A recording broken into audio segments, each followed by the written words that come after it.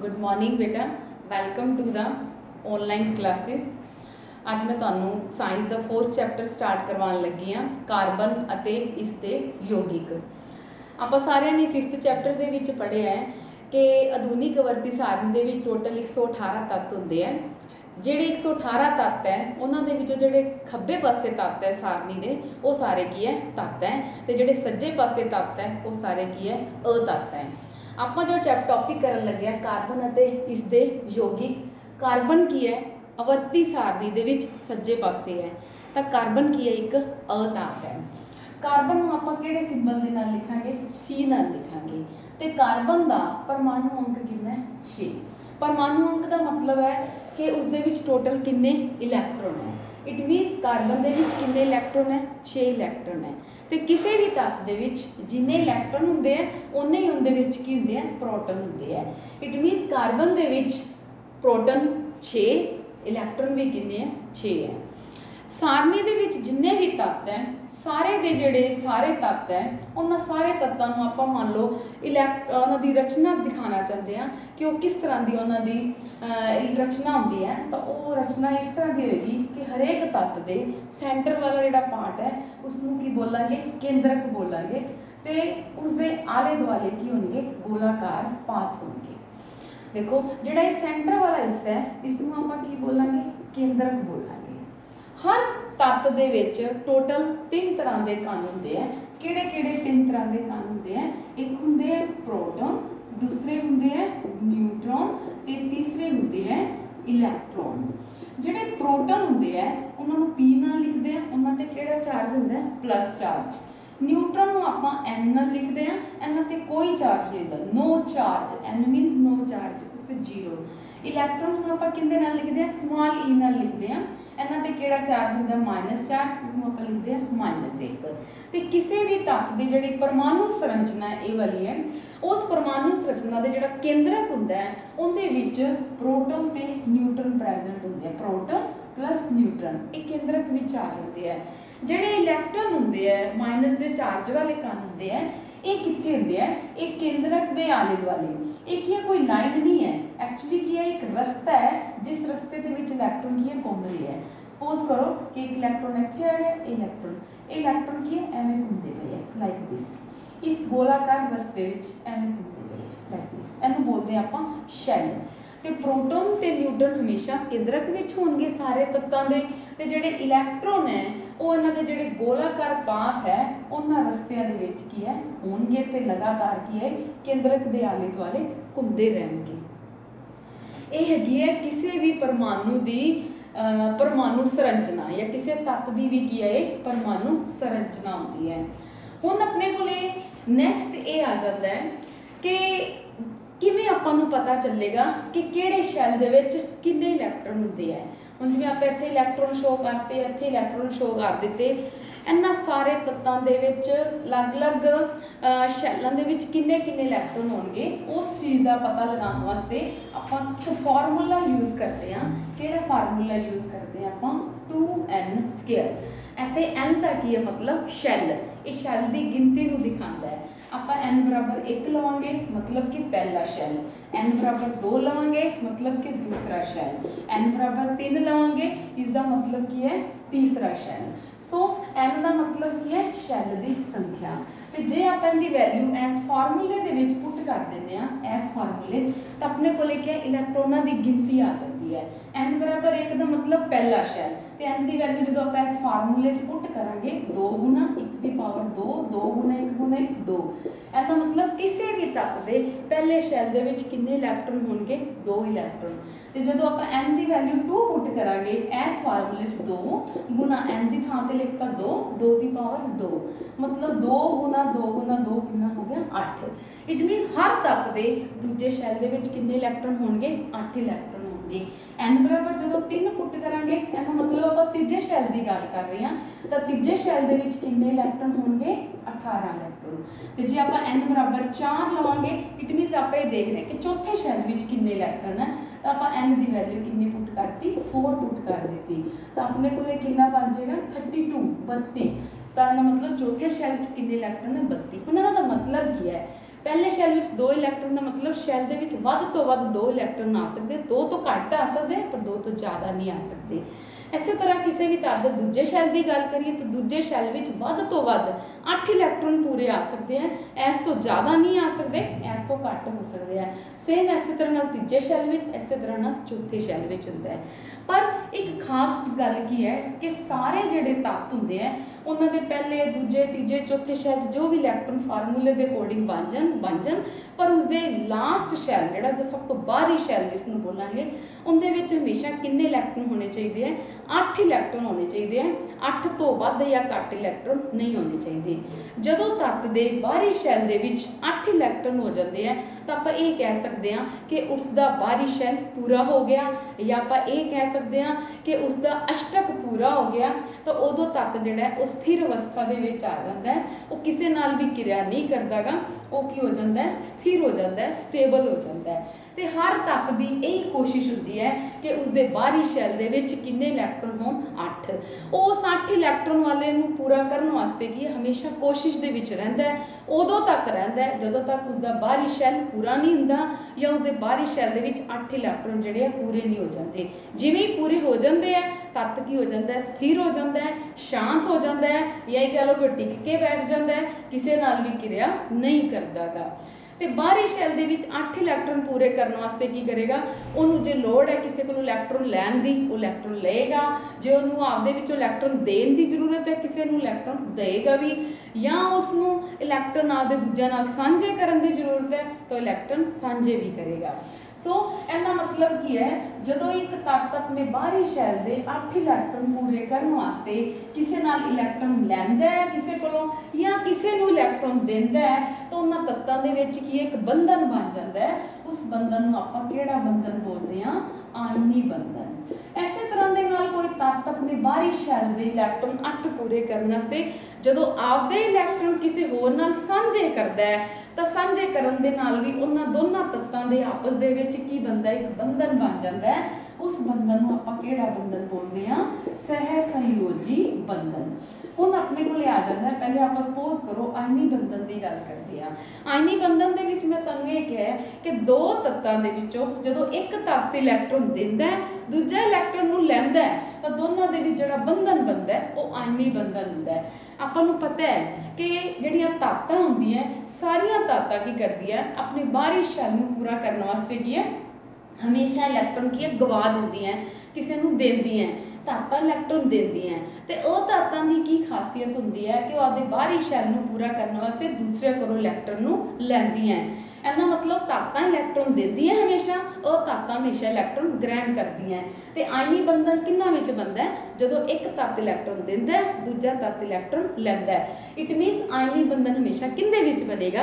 ਇੱਕ ਧਾਤ ਦੇ ਵਿੱਚ ਤੇ ਅਧਾਤ ਦੇ ਵਿੱਚ ਬਣੇਗਾ। ਐਗਜ਼ਾਮਪਲ ਲੈਂਦੇ ਆ ਸਪੋਜ਼ ਕਰੋ ਸੋਡੀਅਮ ਕੀ ਹੈ? ਇੱਕ ਧਾਤੂ ਹੈ। ਸੋਡੀਅਮ ਦੇ ਵਿੱਚ ਕਿੰਨੇ ਇਲੈਕਟ੍ਰੋਨ ਹੁੰਦੇ ਆ 11 ਇਲੈਕਟ੍ਰੋਨ ਹੁੰਦੇ ਆ ਇਸ ਦੀ ਆਪਾਂ ਇਲੈਕਟ੍ਰੋਨਿਕ ਤਰਤੀਬ ਲਿਖਦੇ ਆ ਆਪਾਂ ਨੂੰ ਪਤਾ ਹੈ, ਪਹਿਲੇ ਸ਼ੈਲ 'ਚ ਕਿੰਨੇ ਆਣਗੇ ਦੋ।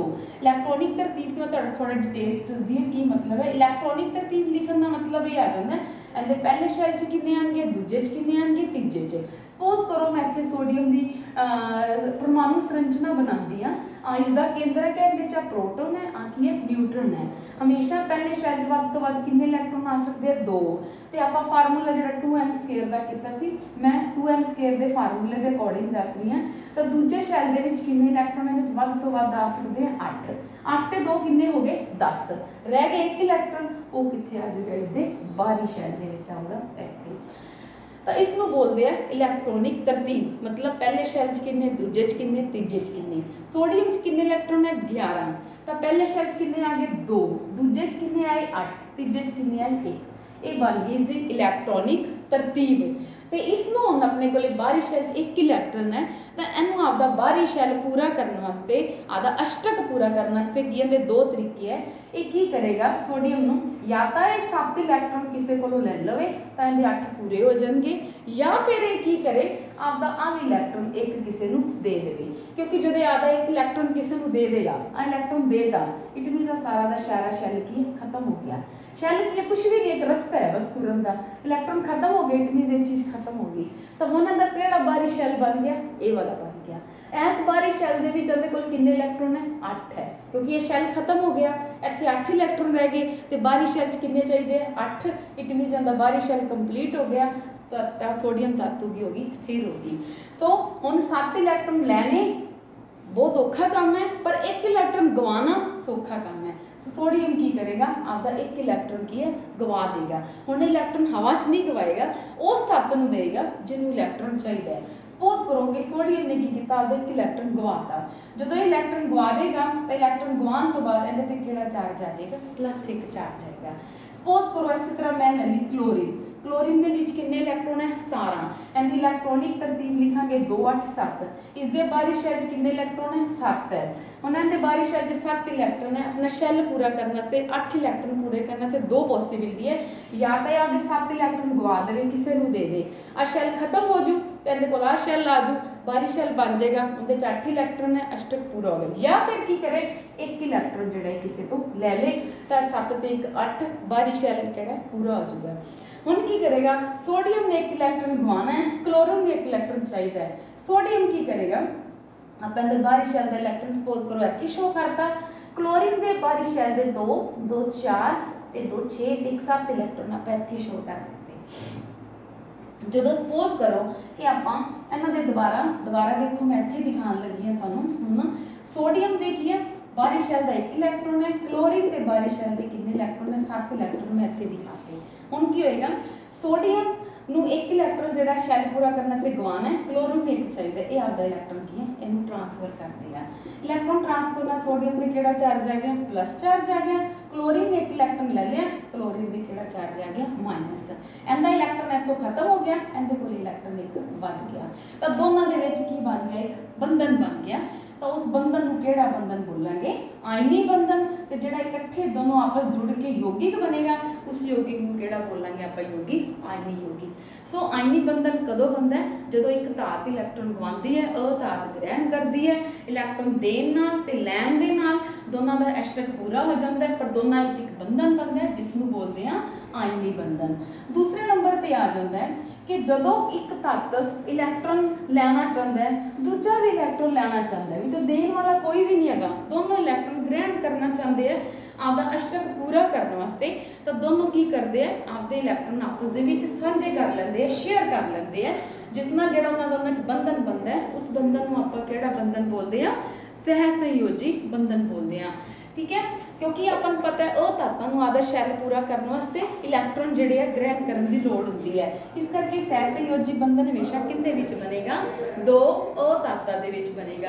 ਸਪੋਜ਼ ਕਰੋ ਕਿ ਆਪਾਂ ਇੱਕ ਹਾਈਡਰੋਜਨ ਲੈ ਲਈ ਅ ਹਾਈਡਰੋਜਨ ਵਿੱਚ ਕਿੰਨੇ ਇਲੈਕਟ੍ਰੋਨ ਹੁੰਦੇ ਆ? ਇੱਕ। ਉਹ ਪਹਿਲੇ ਸ਼ੈਲ 'ਚ ਆ ਜਾਊਗਾ। ਪਹਿਲੇ ਸ਼ੈਲ 'ਚ ਹਮੇਸ਼ਾ ਕਿੰਨੇ ਇਲੈਕ ਆਪਾਂ ਜਿਵੇਂ ਕਹਿੰਦੇ ਆ ਕਿ ਸ਼ੈਲ ਪੂਰਾ ਹੋਣ ਵਾਸਤੇ ਬਾਹਰੀ ਸ਼ੈਲ 'ਚ 8 ਇਲੈਕਟ੍ਰੋਨ ਹੋਣੇ ਜ਼ਰੂਰੀ ਹੈ। ਜੇ ਕਿਸੇ ਤੱਤ ਦਾ ਸ਼ੈਲ ਹੀ ਇੱਕ ਹੈ, ਪਹਿਲਾ ਸ਼ੈਲ ਹੈ, ਤਾਂ ਆਪਾਂ ਨੂੰ ਪਤਾ ਹੈ, ਪਹਿਲੇ ਸ਼ੈਲ 'ਚ ਵੱਧ ਤੋਂ ਵੱਧ ਕਿੰਨੇ ਇਲੈਕਟ੍ਰੋਨ ਆ ਸਕਦੇ ਦੋ। ਇਹਦਾ ਮਤਲਬ ਜਦੋਂ ਇੱਕ ਸ਼ੈਲ ਹੋਏਗਾ, ਤਾਂ ਉਸ ਦੇ ਵਿੱਚ ਦੋ ਇਲੈਕਟ੍ਰੋਨ ਹੋਣਗੇ, ਤਾਂ ਸ਼ੈਲ ਕੀ ਪੂਰਾ ਹੋ ਜੂ ਹੁਣ ਹਾਈਡਰੋਜਨ ਕੋਲ ਕਿੰਨੇ ਇਲੈਕਟ੍ਰੋਨ ਹੈ? ਇੱਕ ਹੈ। ਉਹ ਪਹਿਲੇ ਸ਼ੈਲ 'ਚ ਇੱਕ ਇਲੈਕਟ੍ਰੋਨ ਆ ਗਿਆ। ਹਾਈਡਰੋਜਨ ਨੂੰ ਸ਼ੈਲ ਪੂਰਾ ਕਰਨ ਵਾਸਤੇ ਕਿੰਨੇ ਇਲੈਕਟ੍ਰੋਨ ਚਾਹੀਦੇ? ਇੱਕ ਇਲੈਕਟ੍ਰੋਨ ਚਾਹੀਦਾ ਸਪੋਜ਼ ਕਰੋ ਕਿ ਇੱਕ ਹਾਈਡਰੋਜਨ ਹੈ, ਦੂਸਰਾ ਹਾਈਡਰੋਜਨ ਹੈ। ਇਹਦੇ ਬਾਹਰੀ ਸ਼ੈਲ 'ਚ ਇੱਕ ਇਲੈਕਟ੍ਰੋਨ ਇਹਦੇ ਵੀ ਬਾਹਰੀ ਸ਼ੈਲ 'ਚ ਇੱਕ ਇਲੈਕਟ੍ਰੋਨ ਇਹਨੂੰ ਆਦਾ ਸ਼ੈਲ ਪੂਰਾ ਕਰਨ ਵਾਸਤੇ ਵੀ ਇੱਕ ਚਾਹੀਦਾ ਇਹਨੂੰ ਵੀ। ਇਹ ਦੋਨੋਂ ਕੀ ਕਰਨਗੇ? ਆਪਦਾ ਇਲੈਕਟ੍ਰੋਨ ਸਾਂਝੇ ਕਰ ਲੈਣਗੇ। ਸਾਂਝੇ ਕਰਨ ਦੇ ਨਾਲ ਕੀ ਹੋ ਗਿਆ? ਹੁਣ ਆ ਇਲੈਕਟ੍ਰੋਨ ਇਹਦਾ ਵੀ ਹੈ, ਇਹਦਾ ਵੀ ਹੋ ਗਿਆ। ਆ ਇਲੈਕਟ੍ਰੋਨ ਐਸ ਹਾਈਡਰੋਜਨ ਦਾ ਵੀ ਸੀ ਐਸ ਹਾਈਡਰੋਜਨ ਦਾ ਵੀ ਹੋ ਗਿਆ। ਹੁਣ ਐਸ ਹਾਈਡਰੋਜਨ ਕੋਲ ਇੱਕ ਆਪਦਾ ਇਲੈਕਟ੍ਰੋਨ ਇੱਕ ਜਿਹੜਾ ਸਾਂਝਾ ਕੀਤਾ ਹੋਇਆ ਇਲੈਕਟ੍ਰੋਨ ਹੈ, ਇਹ ਬਣ ਗਿਆ। ਐਸੇ ਤਰ੍ਹਾਂ ਐਸ ਹਾਈਡਰੋਜਨ ਕੋਲ ਇੱਕ ਆਪਦਾ ਇਲੈਕਟ੍ਰੋਨ ਇੱਕ ਜਿਹੜਾ ਸਾਂਝਾ ਕੀਤਾ ਹੋਇਆ ਇਲੈਕਟ੍ਰੋਨ ਉਹ ਵੀ ਬਣ ਗਿਆ। ਹੁਣ ਐਸ ਹਾਈਡਰੋਜਨ ਕੋਲੇ ਵੀ ਦੋ ਇਲੈਕਟ੍ਰੋਨ ਹੋ ਗਏ, ਇਹਦੇ 'ਚ ਵੀ ਦੋ ਇਲੈਕਟ੍ਰੋਨ ਹੋ ਗਏ। ਪਰ ਦੋਨੋਂ ਤੱਤਾਂ ਨੇ, ਕਿਉਂਕਿ ਆਪਦਾ ਇਲੈਕਟ੍ਰੋਨ ਇੱਕ ਇੱਕ ਸਾਂਝਾ ਕੀਤਾ ਸੀ, ਇੱਕ ਇੱਕ ਇਲੈਕਟ੍ਰੋਨ ਸਾਂਝਾ ਕੀਤਾ, ਤਾਂ ਦੋਨਾਂ ਦੇ ਵਿੱਚ ਕੀ ਹੈ ਇੱਕ ਬੰਧਨ ਬਣ ਗਿਆ।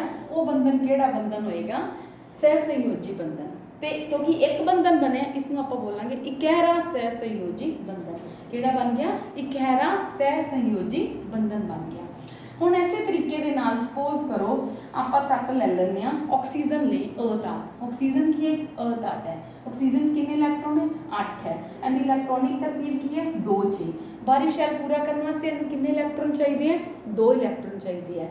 ਐਸੇ ਤਰ੍ਹਾਂ ਦੇ ਨਾਲ ਮੰਨ ਲਓ ਆਕਸੀਜਨ ਦੇ ਆਪਾਂ ਬਾਰੀ ਸ਼ੈਲ ਦੇ 2 2 4 2 6 ਇਲੈਕਟ੍ਰੋਨ ਸ਼ੋ ਕਰ ਦਿੱਤੇ। ਇਹਨੂੰ ਸ਼ੈਲ ਪੂਰਾ ਕਰਨ ਵਾਸਤੇ ਕਿੰਨੇ ਇਲੈਕਟ੍ਰੋਨ ਚਾਹੀਦੇ 2 ਜੇ ਇਹੀ ਆਕਸੀਜਨ ਕਿਸੇ ਧਾਤ ਦੇ ਨਾਲ ਕਿਰਿਆ ਕਰਦੀ ਹੈ ਦੋ ਇਲੈਕਟ੍ਰੋਨ ਲੈਣ ਵਾਸਤੇ, ਫਿਰ ਤਾਂ ਇਹ ਆਇਨ ਯੋਗ ਬੰਧਨ ਬਣਾਏਗੀ, ਉਹਦੇ ਨਾਲ ਤੇ ਯੋਗਿਕ ਕਿਹੜਾ ਬਣੇਗਾ? ਆਇਨ ਯੋਗੀ। ਪਰ ਜੇ ਅਧਾਤ ਕਿਸੇ ਹੋਰ ਅਧਾਤ ਨਾਲ ਕਿਰਿਆ ਕਰਦੀ ਹੈ ਜਾਂ ਆਕਸੀਜਨ ਨਾਲ ਹੀ ਕਿਰਿਆ ਕਰਦੀ ਹੈ, ਮੰਨ ਲਓ ਮੈਂ ਦੂਸਰਾ ਵੀ ਆਕਸੀਜਨ ਤੱਤ ਲੈ ਲਿਆ, ਇਹਦੇ ਵਿੱਚ ਵੀ ਕਿੰਨੇ ਇਲੈਕਟ੍ਰੋਨ ਹੈ? ਮੰਨ ਲਓ 6 ਇਲੈਕਟ੍ਰੋਨ ਹੈ। ਇਹਨੂੰ ਵੀ ਦੋ ਚਾਹੀਦੇ ਆ। ਤਾਂ ਕੀ ਹੈ? ਇੱਕ ਇਲੈਕਟ੍ਰੋਨ ਇੱਕ ਨਾਲ ਸਾਂਝਾ ਹੁੰਦਾ ਹੈ, ਇਹ ਇਲੈਕਟ੍ਰੋਨ ਇਹਦੇ ਨਾਲ ਸਾਂਝਾ ਹੋ ਗਿਆ ਇਹ ਇਲੈਕਟ੍ਰੋਨ ਇਹਦੇ ਨਾਲ ਸਾਂਝਾ ਹੋ। ਗਿਆ ਹੁਣ ਸਾਂਝਾ ਹੋਣ ਤੋਂ ਬਾਅਦ ਕੀ ਹੋਇਆ ਦੇਖੋ, ਕਿੰਨੇ ਇਲੈਕਟ੍ਰੋਨ ਸਾਂਝੇ ਹੋਏ ਦੋ ਇਲੈਕਟ੍ਰੋਨ ਸਾਂਝੇ ਹੋਏ ਗਏ। 1 2 3 4 5 6 ਇਲੈਕਟ੍ਰੋਨ ਇਹ ਦਾਬਦੇ ਸੀ, ਦੋ ਇਹਦੇ ਇਹਨੇ ਸਾਂਝੇ ਕਰ ਲਏ। ਐਸ ਆਕਸੀਜਨ ਕੋਲ ਕਿੰਨੇ ਇਲੈਕਟ੍ਰੋਨ ਹੋ ਗਏ? 8 ਐਸੇ ਤਰ੍ਹਾਂ ਐਸ ਆਕਸੀਜਨ ਨੂੰ ਦੇਖੋ 1 2 3 4 5 6 ਇਲੈਕਟ੍ਰੋਨ ਦੋ ਇਹਨੇ ਇਹਦੇ ਸਾਂਝੇ ਕਰ ਲਏ। ਟੋਟਲ ਕਿੰਨੇ ਹੋ ਗਏ? ਇਲੈਕਟ੍ਰੋਨ 8 ਦੋਨੋਂ ਆਕਸੀਜਨ ਦੇ ਕੀ ਹੋ ਗਏ? 8 ਇਲੈਕਟ੍ਰੋਨ ਇਹਦੇ ਕੋਲੇ ਵੀ ਹੋ ਗਏ 8 ਇਲੈਕਟ੍ਰੋਨ ਇਹਦੇ ਕੋਲੇ ਵੀ ਹੋ ਗਏ। ਤੇ ਜੇ ਆਪਾਂ ਦੇਖੀਏ ਤਾਂ ਕਿੰਨੇ ਕਿੰਨੇ ਇਲੈਕਟ੍ਰੋਨ ਸਾਂਝੇ ਕੀਤੇ? ਦੋ। ਜਿੰਨੇ ਇਲੈਕਟ੍ਰੋਨ ਸਾਂਝੇ ਕੀਤੇ, ਦੋਨਾਂ ਵਿੱਚ ਕਿੰਨੇ ਬਣ ਗਏ? ਉਨੇ ਹੀ ਕੀ ਬਣ ਗਏ? ਬੰਧਨ ਬਣ ਗਏ। ਉਹਨਾਂ ਦਾ ਮਤਲਬ ਉਹ ਆਕਸੀਜਨ ਦੇ ਵਿੱਚ ਕਿਹੜਾ ਬੰਧਨ ਬਣਿਆ? ਸਹਿਸੰਯੋਜੀ ਕਿਉਂਕਿ ਇਲੈਕਟ੍ਰੋਨ ਸਾਂਝੇ ਹੋਣ ਨਾਲ ਬਣਿਆ ਤੇ ਕਿੰਨੇ ਇਲੈਕਟ੍ਰੋਨ ਸਾਂਝੇ ਹੋਏ ਦੋ। ਤੇ ਇਸ ਕਰਕੇ ਕਿਹੜੇ, ਕਿੰਨੇ ਬੰਧਨ ਬਣੇ ਦੋ। ਇਸ ਕਰਕੇ ਹੁਣ ਆਪਾਂ ਕਿਹੜਾ ਬੋਲਾਂਗੇ? ਦੋਹਰਾ ਸਹਿ ਸੰਯੋਜੀ ਬੰਧਨ। ਕੀ ਬੋਲਾਂਗੇ? ਦੋਹਰਾ ਸਹਿ ਸੰਯੋਜੀ ਬੰਧਨ। ਕਿੰਨੇ ਕਿੰਨੇ ਵਿੱਚ ਬਣੇ ਦੋ। ਉਹ ਤਾਤਾਂ ਦੇ ਵਿੱਚ ਬਣੇ ਆ। ਇਸੇ ਤਰ੍ਹਾਂ ਦੇ ਨਾਲ ਆਪਾਂ ਐਗਜ਼ਾਮਪਲ ਇੱਕ ਹੋਰ ਲੈ ਸਕਦੇ ਹਾਂ। ਨਾਈਟ੍ਰੋਜਨ ਦੀ ਐਗਜ਼ਾਮਪਲ ਲੈਂਦੇ ਹਾਂ। ਨਾਈਟ੍ਰੋਜਨ ਦੇ ਵਿੱਚ ਕਿੰਨੇ ਇਲੈਕਟ੍ਰੋਨ ਹੁੰਦੇ ਆ? 7 ਇਹਦੀ ਇਲੈਕਟ੍ਰੋਨਿਕ ਤਰਤੀਬ ਕਿੰਨੀ ਹੈ? 2 5 ਇਸ ਦੇ ਬਾਹਰੀ ਸ਼ੈਲ 'ਚ ਕਿੰਨੇ ਇਲੈਕਟ੍ਰੋਨ ਹੈ? 5 ਤਾਂ ਇਸ ਨੂੰ ਆਪਣਾ ਸ਼ੈਲ ਪੂਰਾ ਕਰਨ ਵਾਸਤੇ ਕਿੰਨੇ ਇਲੈਕਟ੍ਰੋਨ ਚਾਹੀਦੇ ਆ? 3 ਇਲੈਕਟ੍ਰੋਨ ਚਾਹੀਦੇ ਆ। ਤਾਂ ਹੁਣ ਨਾਈਟ੍ਰੋਜਨ ਕੀ ਕਰੇਗਾ? ਆਪਾਂ ਇਹਦੇ ਬਾਹਰੀ ਸ਼ੈਲ ਦੇ ਇਲੈਕਟ੍ਰੋਨ ਜਿਹੜੇ ਆ ਦਿਖਾਉਣ ਵਾਸਤੇ ਕੀ ਕਰਾਂਗੇ? ਆਪਾਂ ਇੱਥੇ ਨੂੰ ਸ਼ੋ ਕਰਾਂਗੇ। 2 ਤੇ 2 3 2 ਤੇ 2 4 ਤੇ 1 ਇੱਥੇ ਦਿਖਾਤਾ 5 ਸੇਮ ਐਸੇ ਤਰੀਕੇ ਨਾਲ ਨਾਈਟ੍ਰੋਜਨ ਦੇ। 1 2 3 4 5 ਹੁਣ ਇਹਨੇ ਕੀ ਕਰਨਾ? ਤਿੰਨ ਇਲੈਕਟ੍ਰੋਨ ਚਾਹੀਦੇ ਆ। ਇਹ ਆਪਦੇ ਤਿੰਨ ਇਲੈਕਟ੍ਰੋਨ ਇਸ ਨਾਈਟ੍ਰੋਜਨ ਦੇ ਤਿੰਨ ਇਲੈਕਟ੍ਰੋਨ ਦੇ ਨਾਲ ਸਾਂਝੇ ਕਰੇਗਾ ਜਦੋਂ ਇਲੈਕਟ੍ਰੋਨ ਸਾਂਝੇ ਕਰਨੇ ਹੋਣ ਤਾਂ ਇਲੈਕਟ੍ਰੋਨ ਦੇ ਸਾਹਮਣੇ ਸ਼ੋਅ ਕਰਦੇ ਆ ਮੈਂ ਇਸ ਕਰਕੇ ਜਾਣਬੁੱਝ ਕੇ ਇੱਥੇ ਲਿਖਿਆ, ਤੁਹਾਨੂੰ ਪਤਾ ਚੱਲ ਜਾਵੇ ਲਿਖਣ ਲੱਗਿਆ ਵੀ ਧਿਆਨ ਰੱਖਣਾ ਹੁੰਦਾ ਹੈ। ਇਹਦਾ ਇਲੈਕਟ੍ਰੋਨ ਇਹਦੇ ਨਾਲ ਸਾਂਝਾ ਹੋਣਾ ਇਟ ਮੀਨਸ ਇਹਦਾ ਇਲੈਕਟ੍ਰੋਨ ਵੀ ਇਸ ਸਾਈਡ ਤੇ ਦਿਖਾਓ। ਇਸ ਇਲੈਕਟ੍ਰੋਨ ਨੂੰ ਜੇ ਇੱਧਰ ਇਲੈਕਟ੍ਰੋਨ ਨਾਲ ਸਾਂਝਾ ਕਰਨਾ, ਉਹ ਵੀ ਇਸ ਸਾਈਡ ਤੇ ਦਿਖਾਓ। ਤਿੰਨ ਇਲੈਕਟ੍ਰੋਨ ਸਾਂਝੇ ਹੋਣੇ ਤਾਂ ਤਿੰਨ ਦੇ ਸਾਹਮਣੇ ਤਿੰਨ ਸ਼ੋਅ ਕਰੋ। ਪਹਿਲਾ ਇਲੈਕਟ੍ਰੋਨ ਪਹਿਲੇ ਨਾਲ ਹੋ ਗਿਆ ਸਾਂਝਾ ਦੂਜਾ, ਦੂਜੇ ਨਾਲ ਹੋ ਗਿਆ, ਤੀਜਾ ਕੀ ਹੋ ਗਿਆ, ਤੀਸਰੇ ਨਾਲ ਹੋ ਗਿਆ। ਹੁਣ ਦੇਖੋ ਇਲੈਕਟ੍ਰੋਨ ਸਾਂਝੇ ਹੋਣ ਤੋਂ ਬਾਅਦ 2 ਤੇ 3 5 ਇਲੈਕਟ੍ਰੋਨ ਇਹਦੇ ਆਉਂਦੇ ਸੀ, ਤਿੰਨ ਇਹਨੇ ਸ਼ੇਅਰ ਕਰ ਲਏ। 5 ਤੇ 3 ਕਿੰਨੇ ਇਲੈਕਟ੍ਰੋਨ ਹੋ ਗਏ? 8 ਇਲੈਕਟ੍ਰੋਨ ਹੋ ਗਏ। ਐਸੇ ਤਰ੍ਹਾਂ ਇਸ ਨਾਈਟ੍ਰੋਜਨ ਕੋਲੇ ਕਿੰਨੇ ਸੀ? 5 ਇਲੈਕਟ੍ਰੋਨ ਸੀ, ਤਿੰਨ ਇਹਨੇ ਇਹਦੇ ਨਾਲ ਸਾਂਝੇ ਕਰ ਲਏ, ਤਾਂ 5 ਤੇ 3 ਕਿੰਨੇ ਹੋ ਗਏ? 8 ਇਲੈਕਟ੍ਰੋਨ ਹੋ ਗਏ। ਇਹਦਾ ਮਤਲਬ ਇਲੈਕਟ੍ਰੋਨਾਂ ਦੀ ਸਾਂਝੇਦਾਰੀ, ਕਿੰਨੇ ਇਲੈਕਟ੍ਰੋਨਾਂ ਦੀ ਸਾਂਝੇਦਾਰੀ ਹੋਈ ਹੈ? ਤਿੰਨ ਤਿੰਨ ਇਲੈਕਟ੍ਰੋਨਾਂ ਦੀ ਸਾਂਝੇਦਾਰੀ। ਦੋ ਨਾਈਟ੍ਰੋਜਨ ਦੇ ਵਿਚਕਾਰ ਕਿਹੜਾ ਬੰਧਨ ਬਣ ਗਿਆ? ਤੀਰਾ ਬੰਧਨ ਬਣ ਗਿਆ। ਤੇਰਾ ਸਹਿਸੰਯੋਜੀ ਬੰਧਨ ਬਣ ਗਿਆ ਹੁਣ ਜਿਹੜੀ ਆਪਾਂ ਇਹ ਵਾਲੀ, ਪਹਿਲੇ ਆਪਾਂ ਹਾਈਡਰੋਜਨ ਵਿੱਚ, ਫਿਰ ਆਕਸੀਜਨ 'ਚ, ਫਿਰ ਨਾਈਟ੍ਰੋਜਨ ਦੇ ਵਿੱਚ ਆ ਇਲੈਕਟ੍ਰੋਨ ਦੀ ਸਾਂਝੇਦਾਰੀ ਦੇ ਨਾਲ ਜੋ ਬੰਧਨ ਦਿਖਾਇਆ ਕਿ ਸਾਰੀ ਰਚਨਾ ਦਿਖਾਈ ਨਾ, ਇਹਨੂੰ ਆਪਾਂ ਬੋਲਦੇ ਹਾਂ ਇਲੈਕਟ੍ਰੋਨ ਬਿੰਦੂ ਰਚਨਾ। ਕਿਹੜੀ ਰਚਨਾ ਬੋਲਾਂਗੇ ਇਸ ਨੂੰ ਇਲੈਕਟ੍ਰੋਨ ਬਿੰਦੂ ਰਚਨਾ। ਹੁਣ ਆਪਾਂ ਇਹ ਦੇਖਿਆ ਕਿ ਜਿਹੜਾ ਸਹਿ ਸਹਿਯੋਜੀ ਬੰਧਨ ਹੈ ਕਿਹਦੇ ਨਾਲ ਬਣਦਾ ਹੈ ਇਲੈਕਟ੍ਰੋਨ ਸਾਂਝੇ ਹੋਣ ਨਾਲ ਬਣਦਾ ਹੈ ਪਹਿਲੇ ਆਪਾਂ ਹਾਈਡਰੋਜਨ ਦੀ ਉਦਾਹਰਨ ਲਈ ਸੀ, ਫਿਰ ਆਪਾਂ ਆਕਸੀਜਨ ਦੀ ਲਈ, ਫਿਰ ਆਪਾਂ ਨਾਈਟ੍ਰੋਜਨ ਹਾਈਡਰੋਜਨ ਹਾਈਡਰੋਜਨ ਦੇ ਨਾਲ ਕੀ ਹੈ?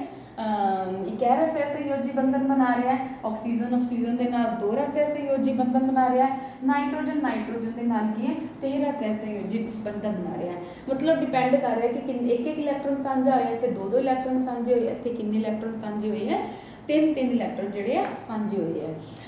ਹੁਣ ਆਪਣੇ ਕੋਲੇ ਆ ਜਾਂਦਾ ਹੈ ਕਿ ਅਹ, ਐਸੇ ਤਰੀਕੇ ਦੇ ਨਾਲ ਕੀ ਹੈ ਮੰਨ ਲਓ ਇਹ ਤਾਂ ਸੇਮ ਸੇਮ ਸੀ ਨਾ ਆਪਣੇ ਕੋਲੇ ਐਟਮ ਦੇ ਵਿੱਚ ਇਲੈਕਟ੍ਰੋਨ ਸਾਂਝੇ ਹੋਏ ਆ ਇੱਕ ਤੱਤ ਜਿਹੜਾ ਹੁੰਦਾ ਹੈ ਜ਼ਰੂਰੀ ਨਹੀਂ ਹੈ ਕਿ ਸੇਮ ਜਿਹੜੇ ਆ ਆਪਦੇ ਵਰਗੇ ਤੱਤ ਨਾਲ ਇਲੈਕਟ੍ਰੋਨ ਸਾਂਝੇ ਕਰੇਗਾ ਇਹ ਕਿਸੇ ਹੋਰ ਤੱਤ ਦੇ ਨਾਲ ਵੀ ਇਲੈਕਟ੍ਰੋਨ ਸਾਂਝੇ ਕਰ ਸਕਦਾ ਹੈ। ਸਪੋਜ਼ ਕਰੋ ਕਿ ਨਾਈਟ੍ਰੋਜਨ ਦੀ ਰਚਨਾ ਨੂੰ ਮੈਂ ਉਵੇਂ ਹੀ ਲਿਖ ਦਿੱਤਾ। ਹੁਣ ਮੈਂ ਨਾਈਟ੍ਰੋਜਨ ਨੇ ਨਾਈਟ੍ਰੋਜਨ ਦੇ ਨਾਲ ਬੰਧਨ ਬਣਾਏ ਸੀ। ਸਪੋਜ਼ ਕਰੋ, ਜਿਵੇਂ ਆਪਾਂ ਲੈ ਲਿਆ ਕਿ ਹਾਈਡਰੋਜਨ, ਤੁਹਾਨੂੰ ਪਤਾ ਹਾਈਡਰੋਜਨ ਦੇ ਵਿੱਚ ਮੈਂ ਹੁਣੇ ਦੱਸਿਆ ਸੀ ਕਿੰਨੇ ਇਲੈਕਟ੍ਰੋਨ ਹੁੰਦੇ ਆ ਇੱਕ। ਤੇ ਇਹਨੂੰ ਸ਼ੈਲ ਪੂਰਾ ਕਰਨ ਵਾਸਤੇ ਇੱਕ ਇਲੈਕਟ੍ਰੋਨ ਚਾਹੀਦਾ ਹੈ। ਨਾਈਟ੍ਰੋਜਨ ਵੀ ਜਦੋਂ ਨਾਈਟ੍ਰੋਜਨ ਨਾਲ ਤਿੰਨ ਤਿੰਨ ਇਲੈਕਟ੍ਰੋਨ ਸਾਂਝੇ ਕੀਤੇ ਤਾਂ ਇਹ ਵਾਲਾ ਬੰਧਨ ਬਣਿਆ। ਸਪੋਜ਼ ਕਰੋ ਨਾਈਟ੍ਰੋਜਨ ਨਾਈਟ੍ਰੋਜਨ ਦੇ ਨਾਲ ਇਲੈਕਟ੍ਰੋਨ ਨਹੀਂ ਸਾਂਝੇ ਕਰਦਾ। ਸਪੋਜ਼ ਕਰੋ ਇਹ ਹਾਈਡਰੋਜਨ ਨਾਲ ਕਰਦਾ ਫਿਰ ਆਪਾਂ ਇਹਦੀ ਇਲੈਕਟ੍ਰੋਨ ਬਿੰਦੂ ਰਚਨਾ ਕਿਵੇਂ ਦਿਖਾਵਾਂਗੇ? ਦੇਖੋ, ਨਾਈਟ੍ਰੋਜਨ ਬਾਹਰੀ ਸ਼ੈਲ ਦੇ ਇਲੈਕਟ੍ਰੋਨ ਕਿੰਨੇ ਆਂਦੇ ਪੰਜ ਇਲੈਕਟ੍ਰੋਨ ਹੈ। ਤੇ ਇਹਨੂੰ ਕਿੰਨੇ ਚਾਹੀਦੇ ਆ? ਤਿੰਨ ਹੋਰ ਚਾਹੀਦੇ ਆ। ਇਹਦਾ ਮਤਲਬ ਤਿੰਨ ਇਲੈਕਟ੍ਰੋਨ ਸਾਂਝੇ ਕਰੇਗਾ। ਹੁਣ ਇਹ ਕਿਸ ਹਿਸਾਬ ਨਾਲ ਸਾਂਝੇ ਕਰੇਗਾ? ਦੇਖੋ, ਇੱਕ ਇਲੈਕਟ੍ਰੋਨ ਦੋ ਇਲੈਕਟ੍ਰੋਨ ਤਿੰਨ ਇਲੈਕਟ੍ਰੋਨ ਚਾਰ ਇਲੈਕਟ੍ਰੋਨ ਪੰਜ ਇਲੈਕਟ੍ਰੋਨ ਹੁਣ ਉਸ ਤੋਂ ਬਾਅਦ ਦੇਖੋ ਕਿ ਤਿੰਨ ਇਲੈਕਟ੍ਰੋਨਾਂ ਨੇ ਸਾਂਝੇ ਕਰਨਾ ਹੈ। ਸਪੋਜ਼ ਕਰੋ ਇੱਕ ਹਾਈਡਰੋਜਨ ਇੱਥੇ ਹੈ। ਹਾਈਡਰੋਜਨ ਦਾ ਇੱਕ ਇਲੈਕਟ੍ਰੋਨ ਹੁੰਦਾ ਹੈ, ਇੱਕ ਹਾਈਡਰੋਜਨ ਇੱਥੇ ਹੈ ਤੇ ਇੱਕ ਹਾਈਡਰੋਜਨ ਇੱਥੇ ਹੈ, ਇੱਕ ਇਲੈਕਟ੍ਰੋਨ ਇੱਥੇ। ਇਸ ਹਾਈਡਰੋਜਨ ਨੂੰ ਇੱਕ ਇਲੈਕਟ੍ਰੋਨ ਚਾਹੀਦਾ ਹੈ, ਇਹਨੇ ਆਪਦਾ ਇਲੈਕਟ੍ਰੋਨ ਇਹਦੇ ਨਾਲ ਸਾਂਝਾ ਐਸ ਹਾਈਡਰੋਜਨ ਨੇ ਆਪਦਾ ਇਲੈਕਟ੍ਰੋਨ ਇਹਦੇ ਨਾਲ ਸਾਂਝਾ ਕੀਤਾ। ਐਸ ਹਾਈਡਰੋਜਨ ਨੇ ਆਪਦਾ ਇਲੈਕਟ੍ਰੋਨ ਇਹਦੇ ਨਾਲ। ਹੁਣ ਹਾਈਡਰੋਜਨ ਵੀ ਜਦੋਂ ਇਲੈਕਟ੍ਰੋਨਾਂ ਦੇ ਨਾਲ ਸਾਂਝਾ ਕੀਤਾ, ਇਹ ਇਲੈਕਟ੍ਰੋਨ ਇਹਦਾ ਵੀ ਹੋ ਗਿਆ, ਇਹ ਇਲੈਕਟ੍ਰੋਨ ਇਹਦਾ ਵੀ। ਐਸ ਹਾਈਡਰੋਜਨ ਕੋਲ ਕਿੰਨੇ ਇਲੈਕਟ੍ਰੋਨ ਹੋ ਗਏ? ਦੋ। ਐਸ ਹਾਈਡਰੋਜਨ ਕੋਲ ਵੀ ਕਿੰਨੇ ਇਲੈਕਟ੍ਰੋਨ ਹੋ ਗਏ? ਦੋ। ਐਸ ਹਾਈਡਰੋਜਨ ਕੋਲ ਵੀ ਕਿੰਨੇ ਇਲੈਕਟ੍ਰੋਨ ਹੋ ਗਏ? ਦੋ। ਹੁਣ ਨਾਈਟ੍ਰੋਜਨ ਕੋਲ ਕਿੰਨੇ ਹੋਏ 1 2 3 4 5 ਦੇ ਆਪਦੇ ਸੀ। ਇੱਕ ਇਹਨੇ ਐਸ ਹਾਈਡਰੋਜਨ ਨਾਲ ਸਾਂਝਾ ਕੀਤਾ, ਇੱਕ ਕਹਿੰਦੇ ਨਾਲ ਸਾਂਝਾ ਕੀਤਾ, ਇੱਕ ਕਹਿੰਦੇ ਨਾਲ ਸਾਂਝਾ ਕੀਤਾ। ਤਾਂ ਨਾਈਟ੍ਰੋਜਨ ਦੇ 8 ਇਲੈਕਟ੍ਰੋਨ ਕਿਵੇਂ ਸ਼ੋ ਕਰਾਂਗੇ? ਇਧਰੋਂ ਸ਼ੁਰੂ ਹੋ ਕੇ ਇਹ ਵਾਲੀ ਇਲੈਕਟ੍ਰੋਨ ਇਹਦੇ ਵਿੱਚ ਲੈ ਕੇ ਇਹਨੂੰ ਆਪਾਂ ਐਵੇਂ ਸ਼ੋ ਕਰਾਂਗੇ ਲਾਈਕ ਦਿਸ ਹੁਣ ਦੇਖੋ ਨਾਈਟ੍ਰੋਜਨ ਕੋਲ ਕਿੰਨੇ ਇਲੈਕਟ੍ਰੋਨ ਹੋ ਗਏ? 8 ਇਲੈਕਟ੍ਰੋਨ ਨਾਈਟ੍ਰੋਜਨ ਦਾ ਵੀ ਅਸ਼ਟਕ ਪੂਰਾ ਹੋ ਗਿਆ ਹਾਈਡਰੋਜਨ ਦਾ ਵੀ ਅਸ਼ਟਕ ਪੂਰਾ ਹੋ ਗਿਆ। ਇਹਨੂੰ ਬੋਲਦੇ ਆਪਾਂ ਨਾਈਟ੍ਰੋ ਅਮੋਨੀਆ ਦੀ ਇਲੈਕਟ੍ਰੋਨ ਬਿੰਦੂ ਰਚਨਾ। ਹੁਣ ਆਪਾਂ ਸਿੰਪਲ ਦਿਖਾਣਾ ਵਿੱਚ ਜਿਵੇਂ ਇਹਨੂੰ ਆਪਾਂ ਦਿਖਾਇਆ, ਇਹਨੂੰ ਕਿਵੇਂ ਦਿਖਾਵਾਂਗੇ? ਨਾਈਟ੍ਰੋਜਨ ਇੱਕ ਹਾਈਡਰੋਜਨ ਇਹਦੇ ਨਾਲ ਇੱਧਰ ਲੱਗਿਆ ਇੱਕ ਇੱਧਰ ਤੇ ਇੱਕ ਇੱਧਰ। ਜਿਸ ਨੂੰ ਆਪਾਂ ਕੀ ਹੈ ਓਵਰਆਲ ਕਿਵੇਂ ਲਿਖ ਸਕਦੇ ਹਾਂ NH3 ਵੀ ਲਿਖ ਸਕਦੇ ਹਾਂ ਇਹਨੂੰ ਆਪਾਂ ਓਵਰਆਲ ਕਿਵੇਂ ਲਿਖ ਸਕਦੇ ਹਾਂ? N2 ਵੀ ਸੋ ਇੱਥੋਂ ਆਪਾਂ ਨੂੰ ਕੀ ਕਲੀਅਰ ਹੋ ਰਿਹਾ ਹੈ? ਇੱਥੋਂ ਆਪਾਂ ਨੂੰ ਇਹ ਕਲੀਅਰ ਹੋ ਰਿਹਾ ਹੈ ਕਿ ਜਿਹੜਾ ਇਲੈਕਟ੍ਰੋਨ ਦੀ ਸਾਂਝੇਦਾਰੀ ਦੇ ਨਾਲ ਸਹਿ ਸੰਯੋਜੀ ਬੰਧਨ ਬਣਦਾ ਉਹ ਜ਼ਰੂਰੀ ਨਹੀਂ ਹੈ ਕਿ ਇੱਕੋ ਵਰਗੇ ਤੱਤ ਤੱਤਾਂ ਦੇ ਵਿੱਚ ਹੀ ਬਣਦਾ ਹੈ ਜਾਂ ਇਕੱਲੀਆਂ ਸੇਮ ਅਧਾਤਾਂ ਦੇ ਵਿੱਚ ਹੀ ਬਣਦਾ ਹੈ, ਉਹ ਇੱਕ ਅਧਾਤ ਦਾ ਕਿਸੇ ਹੋਰ ਅਧਾਤ ਨਾਲ ਵੀ ਬਣ ਸਕਦਾ ਹੈ। ਹੁਣ ਇਸੇ ਤਰ੍ਹਾਂ ਦੇ ਨਾਲ ਸਪੋਜ਼ ਕਰੋ, ਹੁਣ ਆਪਾਂ ਆ ਜਾਈਏ ਕਾਰਬਨ ਵਾਲੇ ਟੌਪਿਕ ਤੇ। ਕਾਰਬਨ ਦਾ ਆਪਾਂ ਦੇਖਿਆ ਸੀ ਕਾਰਬਨ ਦਾ ਸਿੰਬਲ ਕੀ ਹੈ? 6 ਹੈ। ਤਾਂ ਕਾਰਬਨ ਦੇ ਵਿੱਚ ਕਿੰਨੇ ਇਲੈਕਟ੍ਰੋਨ ਹੋ ਗਏ? 6 ਇਲੈਕਟ੍ਰੋਨ ਹੋ ਗਏ ਆਪਣੇ ਕੋਲੇ। ਸਿੰਬਲ ਸੋਰੀ ਸੀ ਹੈ। ਤੇ ਇਸ ਦੇ ਵਿੱਚ ਕਿੰਨੇ ਇਲੈਕਟ੍ਰੋਨ ਹੈ? ਸਿੰਬਲ ਦੇ ਇਸ ਦੇ ਵਿੱਚ 6 ਇਲੈਕਟ੍ਰੋਨ ਹੈ। ਉਹਨਾਂ ਦੇ ਪਹਿਲੇ ਸ਼ੈਲ 'ਚ ਕਿੰਨੇ ਆਣਗੇ? 2 ਦੂਜੇ 'ਚ ਕਿੰਨੇ ਆਣਗੇ? 4 ਇਲੈਕਟ੍ਰੋਨ ਇਸ ਦੇ ਬਾਹਰੀ ਸ਼ੈਲ ਦੇ ਵਿੱਚ ਕਿੰਨੇ ਇਲੈਕਟ੍ਰੋਨ ਆ ਗਏ? 4 ਇਲੈਕਟ੍ਰੋਨ ਆ ਗਏ। ਹੁਣ ਕਾਰਬਨ ਨੂੰ ਬਾਹਰੀ ਸ਼ੈਲ 'ਚ 4 ਇਲੈਕਟ੍ਰੋਨ ਹੈ ਜੇ। ਸ਼ੈਲ ਪੂਰਾ ਕਰਨ ਵਾਸਤੇ ਕਿੰਨੇ ਇਲੈਕਟ੍ਰੋਨ ਹੋਰ ਚਾਹੀਦੇ ਆ? 4 ਇਲੈਕਟ੍ਰੋਨ ਇਹਨੂੰ ਹੋਰ ਚਾਹੀਦੇ ਆ। ਦੋ ਪੋਸਿਬਿਲਿਟੀਜ਼ ਹੈ। ਜਾਂ ਤਾਂ ਇਹ ਕੀ ਕਰੇ ਆਪੇ 4 ਇਲੈਕਟ੍ਰੋਨ ਕਿਸੇ ਨੂੰ ਦੇ ਦੇ। ਜਦੋਂ ਇਹ ਚਾਰ ਇਲੈਕਟ੍ਰੋਨ ਕਿਸੇ ਨੂੰ ਦੇ ਦੂ, ਇਹ ਇਲੈਕਟ੍ਰੋਨ ਖਤਮ ਹੋ ਗਏ, ਇਹਦੇ ਕੋਲ ਕੀ ਰਹਿ ਜੂ? ਕੱਲਾ ਪਹਿਲਾ ਸ਼ੈਲ ਤੇ ਪਹਿਲੇ ਸ਼ੈਲ 'ਚ ਕਿੰਨੇ? ਦੋ ਇਲੈਕਟ੍ਰੋਨ ਹੈ। ਇਟ ਮੀਨਸ ਇਸ ਦਾ ਸ਼ੈਲ ਕੀ ਹੋ ਗਿਆ? ਕੰਪਲੀਟ ਹੋ ਗਿਆ। ਤੇ ਇਹ ਕੀ ਹੋ ਜਾਏਗਾ? ਸਥਿਰ ਅਵਸਥਾ ਜਾ ਜੂ। ਦੂਜੀ ਪੋਸਿਬਿਲਿਟੀ ਕੀ ਹੈ? ਇਹ ਕਿਸੇ ਕੋਲੋਂ ਚਾਰ ਇਲੈਕਟ੍ਰੋਨ ਲੈ ਲਵੇ। ਚਾਰ ਇਲੈਕਟ੍ਰੋਨ ਲੈ ਲਵੇ, ਚਾਰ ਤੇ ਚਾਰ ਬਾਹਰੀ ਸ਼ੈਲ ਕਿੰਨੇ ਹੋ ਜਾਣਗੇ? 8 ਇਲੈਕਟ੍ਰੋਨ ਹੋ ਜਾਣਗੇ ਇਹਦਾ ਅਸ਼ਟਕ ਪੂਰਾ ਹੋ ਜਾਊਗਾ ਤਾਂ ਵੀ। ਹੁਣ ਇਹਦਾ ਮਤਲਬ ਕੀ ਹੈ, ਦੋ ਪੋਸਿਬਿਲਿਟੀ ਹੈ, ਜਾਂ ਇਹ ਚਾਰ ਇਲੈਕਟ੍ਰੋਨ ਲਵੇ, ਜਾਂ ਇਹ ਚਾਰ ਇਲੈਕਟ੍ਰੋਨ ਦੇਵੇ। ਪਰ ਇਹ ਦੋਨਾਂ ਵਿੱਚੋਂ ਕੋਈ ਵੀ ਕੰਮ ਨਹੀਂ ਕਰਦਾ। ਕਿਉਂ? ਕਿਉਂਕਿ ਸਪੋਜ਼ ਕਰੋ ਇਸਨੇ ਚਾਰ ਇਲੈਕਟ੍ਰੋਨ ਗਵਾਉਣੇ ਆ, ਤਾਂ ਵੀ ਇਹਨੂੰ ਬਹੁਤ ਜ਼ਿਆਦਾ ਮਾਤਰਾ ਵਿੱਚ ਊਰਜਾ ਚਾਹੀਦੀ ਹੈ। ਤੇ ਜਿਹੜੀ ਕਿ ਇੰਨੀ ਇਹਦੇ ਕੋਲ ਊਰਜਾ ਨਹੀਂ ਹੈ, ਇਸ ਕਰਕੇ ਚਾਰ ਇਹ ਨਹੀਂ ਗਵਾ ਸਕਦਾ। ਤੇ ਜਾਂ ਇਹ ਚਾਰ ਇਲੈਕਟ੍ਰੋਨ ਲਵੇ, ਉਹਦੇ ਵਾਸਤੇ ਵੀ ਇਹਨੂੰ ਬਹੁਤ ਜ਼ਿਆਦਾ ਮਾਤਰਾ ਵਿੱਚ ਊਰਜਾ ਚਾਹੀਦੀ ਹੈ, ਜਿਹੜੀ ਕਿ ਪੋਸੀਬਲ ਨਹੀਂ ਹੈ। ਇਸ ਕਰਕੇ ਕਿ ਇਹ ਚਾਰ ਇਲੈਕਟ੍ਰੋਨ ਗ੍ਰਹਿਣ ਵੀ ਨਹੀਂ ਕਰ ਸਕਦਾ। ਸੋ ਕਾਰਬਨ ਆਪਦੇ ਬਾਹਰੀ ਸ਼ੈਲ ਨੂੰ ਪੂਰਾ ਕਰਨ ਵਾਸਤੇ ਨਾ ਤਾਂ ਚਾਰ ਇਲੈਕਟ੍ਰੋਨ ਗਵਾਏਗਾ, ਨਾ ਹੀ ਚਾਰ ਇਲੈਕਟ੍ਰੋਨ ਲਏਗਾ। ਪਰ ਇਹ ਆਪਦੇ ਚਾਰ ਇਲੈਕਟ੍ਰੋਨ ਕਿਸੇ ਹੋਰ ਤੱਤ ਦੇ ਨਾਲ ਕੀ ਹੈ ਸ਼ੇਅਰ ਕਰ ਲੇਗਾ ਕਰਕੇ ਆਪਦੇ ਸਾਰੇ ਜਿਹੜੇ ਬਾਹਰੀ ਸ਼ੈਲ ਹੈ ਉਸ ਨੂੰ ਕੀ ਕਰ ਲੇਗਾ ਪੂਰਾ ਕਰ ਲੇਗਾ ਹੁਣ ਆਪਣੇ ਕੋਲੇ ਆ ਜਾਂਦਾ ਹੈ ਕਿ ਇਹਦਾ ਮਤਲਬ ਕਾਰਬਨ ਕੀ ਹੈ, ਕਿਹੜਾ ਬੰਧਨ ਬਣਾਉਂਦਾ ਹੈ? ਆਪਾਂ ਦੋਨਾਂ 'ਚ ਦੇਖਿਆ ਸੀ, ਮੈਂ ਤੁਹਾਨੂੰ ਪਹਿਲੇ ਆਇਨੀ ਬੰਧਨ ਬਾਰੇ ਦੱਸਿਆ, ਫਿਰ ਸਹਿ ਸੰਯੋਜੀ ਬੰਧਨ, ਆਪਣਾ ਟੌਪਿਕ ਕਾਰਬਨ ਅਤੇ ਉਸਦੇ ਯੋਗਿਕ ਹੈ, ਜਿੰਦੇ ਵਿੱਚੋਂ ਪਹਿਲੇ ਆਪਾਂ ਕਾਰਬਨ ਬਾਰੇ ਡਿਸਕਸ ਕਰਾਂਗੇ, ਫਿਰ ਉਸਦੇ ਯੋਗਿਕ ਬਾਰੇ ਪੜਾਂਗੇ ਤਾਂ ਕਾਰਬਨ ਦੇ ਵਿੱਚ ਆਪਣੇ ਕੋਲੇ ਕੀ ਆ ਜਾਂਦਾ ਹੈ ਕਿ ਕਾਰਬਨ ਦੇ ਵਿੱਚ 6 ਇਲੈਕਟ੍ਰੋਨ ਹੈ ਇਸ ਦੀ ਇਲੈਕਟ੍ਰੋਨਿਕ ਬਨ ਤਰਤੀਬ 2 4 ਹੈ ਤਾਂ ਕਿੰਨੇ ਇਲੈਕਟ੍ਰੋਨ ਨੂੰ ਹੋਰ ਚਾਹੀਦੇ? ਸ਼ੈਲ ਪੂਰਾ ਕਰਨ ਵਾਸਤੇ ਚਾਰ। ਜਿੰਨੇ ਇਲੈਕਟ੍ਰੋਨ ਕਿਸੇ ਵੀ ਤੱਤ ਨੂੰ ਸ਼ੈਲ ਪੂਰਾ ਕਰਨ ਵਾਸਤੇ ਚਾਹੀਦੇ, ਉਹਨੂੰ ਬੋਲਦੇ ਉਸ ਦੀ ਸੰਯੋਜਕਤਾ। ਇਹਦਾ ਮਤਲਬ ਕਾਰਬਨ ਦੀ ਸੰਯੋਜਕਤਾ ਕਿੰਨੀ ਹੈ? ਚਾਰ ਹੈ। ਸੋ ਚਾਰ ਇਲੈਕਟ੍ਰੋਨ ਜਿਹੜੇ ਆ, ਉਹ ਆਪ ਦੂਜੇ ਤੱਤ ਨਾਲ ਸਾਂਝੇ ਕਰਕੇ ਆਪਦਾ ਸ਼ੈਲ ਕੀ ਹੈ? ਪੂਰਾ ਕਰ ਲੂ ਹੁਣ ਇਹ ਕਾਰਬਨ ਜਿਹੜੇ ਚਾਰ ਇਲੈਕਟ੍ਰੋਨ ਸਾਂਝੇ ਕਰਨੇ ਆ, ਇਹ ਕਿਸ ਤਰ੍ਹਾਂ ਨਾਲ ਸਾਂਝੇ ਕਰੇਗਾ? ਸਪੋਜ਼ ਕਰੋ, ਆਪਾਂ ਐਗਜ਼ਾਮਪਲ ਲੈ ਲੈਂਦੇ ਆ ਕਿ ਕਾਰਬਨ ਜਦੋਂ ਹੈ, ਆਕਸੀਜਨ ਦੇ ਨਾਲ ਕੰਬਾਈਨ ਕਰਦਾ ਹੈ। ਆਪਣੇ ਕੋਲੇ ਆਪਣੀ ਐਕਸਰਸਾਈਜ਼ ਪਹਿਲਾ ਕੁਐਸਚਨ ਵੀ ਹੈ ਕਿ ਕਾਰਬਨ ਡਾਈਆਕਸਾਈਡ ਦੀ ਇਲੈਕਟ੍ਰੋਨ ਬਿੰਦੂ ਰਚਨਾ ਕੀ ਹੈ। ਹੁਣ ਉਹਦੇ ਵਿੱਚ ਵੀ ਦੇਖੋ ਤੁਸੀਂ, ਕਾਰਬਨ ਡਾਈਆਕਸਾਈਡ ਦੀ ਜਦੋਂ ਆਪਾਂ ਇਲੈਕਟ੍ਰੋਨ ਬਿੰਦੂ ਰਚਨਾ ਦਿਖਾਉਂਦੇ ਆ ਉਹਦੇ ਵਿੱਚ ਦੇਖੋ ਕਾਰਬਨ ਕਾਰਬਨ ਦੇ ਬਾਹਰੀ ਸ਼ੈਲ ਦੇ ਇਲੈਕਟ੍ਰੋਨ ਸਪੋਜ਼ ਕਰੋ। ਮੈਂ ਇੱਥੇ ਸ਼ੋ ਕਰਕੇ ਚਾਰ ਇਲੈਕਟ੍ਰੋਨ ਕਿੰਨੀਆਂ ਆਕਸੀਜਨ ਇਹਦੇ ਨਾਲ ਜੁੜ ਰਹੀਆਂ? ਦੋ। ਜਿਹੜੇ ਸਿੰਗਲ ਤੱਤਾਂ ਨੂੰ ਸੈਂਟਰ 'ਚ ਦੇਖ ਦਿੰਦੇ ਆ ਜਿਹੜੇ ਇੱਕ ਤੋਂ ਵੱਧ ਆ ਉਹਨੂੰ ਆਪਾਂ ਕੀ ਸਾਈਡ ਤੇ ਲਗਾਤੇ ਦੋ ਆਕਸੀਜਨ ਆਪਾਂ ਇੱਧਰ ਦਿਖਾਤੀਆਂ ਆਕਸੀਜਨ 'ਚ ਕਿੰਨੇ ਇਲੈਕਟ੍ਰੋਨ ਆਪਾਂ ਪਹਿਲੇ ਕਰ ਚੁੱਕੇ ਆ 8 ਇਸ ਦੀ ਇਲੈਕਟ੍ਰੋਨਿਕ ਤਰਤੀਬ ਕੀ ਹੈ? 2 6 ਤਾਂ ਆਕਸੀਜਨ ਦੇ ਬਾਹਰੀ ਸ਼ੈਲ 'ਚ ਕਿੰਨੇ ਇਲੈਕਟ੍ਰੋਨ ਹੈ? 6 ਇਹਦਾ ਮਤਲਬ ਐਸ ਆਕਸੀਜਨ ਦੇ ਵੀ ਬਾਹਰੀ ਸ਼ੈਲ ਦੇ ਵਿੱਚ ਕਿੰਨੇ ਇਲੈਕਟ੍ਰੋਨ ਹੈ? 6 ਤੇ ਐਸ ਆਕਸੀਜਨ ਦੇ ਵੀ ਬਾਹਰੀ ਸ਼ੈਲ ਦੇ ਵਿੱਚ ਕਿੰਨੇ ਇਲੈਕਟ੍ਰੋਨ ਹੈ? 6 ਹੁਣ ਕਾਰਬਨ ਕੀ ਕਰੇਗਾ? ਕਾਰਬਨ ਨੂੰ ਚਾਰ ਇਲੈਕਟ੍ਰੋਨ ਸਾਂਝੇ ਕਰਨੇ ਆ। ਦੋ ਇਧਰੋਂ AS ਦੋ ਆਕਸੀਜਨ ਦੇ ਇਲੈਕਟ੍ਰੋਨ ਨਾਲ ਸਾਂਝੇ ਕਰੇਗਾ। ਇੱਧਰ ਲਿਆ ਕੇ ਦੋ ਕਾਰਬਨ ਜਿਹੜੇ ਇਲੈਕਟ੍ਰੋਨ ਹੈ AS ਆਕਸੀਜਨ ਦੇ ਨਾਲ ਸਾਂਝੇ ਕਰੋ। ਹੁਣ ਦੇਖੋ, ਚਾਰ ਕਾਰਬਨ ਦੇ ਆਪਦੇ ਇਲੈਕਟ੍ਰੋਨ ਨੇ, ਦੋ NAS ਆਕਸੀਜਨ ਤੋਂ ਲੈ ਲਏ, ਦੋ NAS ਤੋਂ ਸਾਂਝੇ ਕਰ ਲਏ। ਕਾਰਬਨ ਦੇ ਕਿੰਨੇ ਇਲੈਕਟ੍ਰੋਨ ਹੋ ਗਏ? 8 ਇਲੈਕਟ੍ਰੋਨ ਹੋ ਗਏ। ਐਸੇ ਤਰੀਕੇ ਦੇ ਨਾਲ ਦੇਖੋ ਆਕਸੀਜਨ ਦੇ 6 ਇਲੈਕਟ੍ਰੋਨ ਸੀ, ਦੋ NAS ਕਾਰਬਨ ਦੇ ਸਾਂਝੇ ਕਰ ਲਏ, ਕਿੰਨੇ ਬਣ ਗਏ? 8 ਐਸੇ ਤਰ੍ਹਾਂ ਐਸ ਆਕਸੀਜਨ ਦੇ ਵੀ ਕਿੰਨੇ ਬਣ ਗਏ? 8 ਹੁਣ ਦੇਖੋ, ਦੋਨਾਂ ਦਾ ਮਤਲਬ ਅਸ਼ਟ- ਅਸ਼ਟਕ ਕੀ ਹੈ ਪੂਰਾ ਹੋ ਗਿਆ। ਇਹਨੂੰ ਬੋਲਦੇ ਆ ਕਾਰਬਨ ਡਾਈਆਕਸਾਈਡ ਦੀ ਇਲੈਕਟ੍ਰੋਨ ਬਿੰਦੂ ਰਚਨਾ, ਜਿਹਨੂੰ ਆਪਾਂ ਕਿਵੇਂ ਦਿਖਾ ਸਕਦੇ ਹਾਂ? ਜਿਸ ਨੂੰ ਆਪਾਂ ਐਸ ਫਾਰਮ ਦੇ ਵਿੱਚ ਵੀ ਦਿਖਾ ਸਕਦੇ ਹਾਂ oxygen C double bond oxygen ਇਹਦਾ ਮਤਲਬ ਜਿਹੜਾ ਕਾਰਬਨ ਹੈ, ਉਹ ਦੋਨੋਂ ਆਕਸੀਜਨ ਦੇ ਨਾਲ ਕਿਹੜਾ ਬੰਧਨ ਬਣਾ ਰਹੇ? ਹੈ ਦੋਹਰਾ ਬੰਧਨ ਬਣਾ ਰਿਹਾ। ਹੈ ਹੁਣ ਆਪਾਂ ਇਹ ਚੀਜ਼ ਨੋਟ ਕੀਤੀ ਹੈ, ਜਿਵੇਂ ਆਪਾਂ ਕੀ ਹੈ, ਨਾਈਟ੍ਰੋਜਨ ਦੇ ਵਿੱਚ ਵੀ ਇਹ ਗੱਲ ਕੀਤੀ ਸੀ, ਸਭ ਤੋਂ ਪਹਿਲੇ ਆਪਾਂ ਦੇਖਿਆ ਸੀਗਾ ਆਕਸੀਜਨ ਦੀ ਵੀ ਗੱਲ ਕੀਤੀ ਸੀ। ਆਕਸੀਜਨ ਦੇਖੋ 6 ਟੋਟਲ 8 ਇਲੈਕਟ੍ਰੋਨ ਸੀ ਇਹਦੀ ਇਲੈਕਟ੍ਰੋਨਿਕ ਤਰਤੀਬ ਕਿੰਨੀ ਸੀ? 2 6 ਸੀ। ਇਹਦੇ ਬਾਹਰੀ ਸ਼ੈਲ 'ਚ ਕਿੰਨੇ ਸੀ? 6 ਇਲੈਕਟ੍ਰੋਨ ਸੀ ਸ਼ੈਲ ਪੂਰਾ ਕਰਨ ਵਾਸਤੇ 2 ਇਲੈਕਟ੍ਰੋਨ ਚਾਹੀਦੇ ਸੀ। ਜਦੋਂ ਆਕਸੀਜਨ ਆਕਸੀਜਨ ਨਾਲ ਜੁੜਿਆ, ਜਿਨ, ਇਹਦਾ ਮਤਲਬ ਜੇ ਇਹਨੂੰ 2 ਇਲੈਕਟ੍ਰੋਨ ਚਾਹੀਦੇ ਸ਼ੈਲ ਪੂਰਾ ਕਰਨ ਵਾਸਤੇ ਇਹਦੀ ਸੰਯੋਜਕਤਾ ਕਿੰਨੀ ਹੈ? 2 ਤਾਂ ਇਹ ਕਿਹੜਾ ਬੰਧਨ ਬਣਾ ਰਿਹਾ? ਦੋਹਰਾ ਬੰਧਨ ਬਣਾ ਰਿਹਾ ਆਕਸੀਜਨ ਦੇ ਨਾਲ। ਦੋ ਬੰਧਨ ਬਣਾ ਰਿਹਾ ਐਸੇ ਤਰ੍ਹਾਂ ਜਦੋਂ ਆਪਾਂ ਨਾਈਟ੍ਰੋਜਨ ਲਿਆ ਸੀ ਨਾਈਟ੍ਰੋਜਨ 'ਚ ਕਿੰਨੇ ਇਲੈਕਟ੍ਰੋਨ ਸੀ? 7 ਇਹਦੀ ਇਲੈਕਟ੍ਰੋਨਿਕ ਤਰਤੀਬ ਕਿੰਨੀ ਸੀ? 2 5 ਤਾਂ ਨਾਈਟ੍ਰੋਜਨ ਨੂੰ ਬਾਰਿਸ਼ ਜਲ 'ਚ ਕਿੰਨੇ ਇਲੈਕਟ੍ਰੋਨ ਚਾਹੀਦੇ ਆ ਸ਼ੈਲ ਪੂਰਾ ਕਰਨ ਵਾਸਤੇ ਤਿੰਨ ਇਲੈਕਟ੍ਰੋਨ ਚਾਹੀਦੇ ਆ। ਇਹਦਾ ਮਤਲਬ ਨਾਈਟ੍ਰੋਜਨ ਕਿੰਨੇ ਬੰਧਨ ਬਣਾਉਂਦਾ 3 ਭਾਵੇਂ ਉਹ ਨਾਈਟ੍ਰੋਜਨ ਨਾਲ ਬਣਾਵੇ ਤੇ ਭਾਵੇਂ ਉਹ ਹਾਈਡਰੋਜਨ ਦੇ ਨਾਲ ਬਣਾਵੇ। ਬੰਧਨ ਕਿੰਨੇ ਬਣ ਰਹੇ? ਇੱਥੇ ਇੱਥੇ 3 ਬਣ ਰਹੇ, ਇੱਧਰ ਵੀ 1 2 3 ਬੰਧਨ।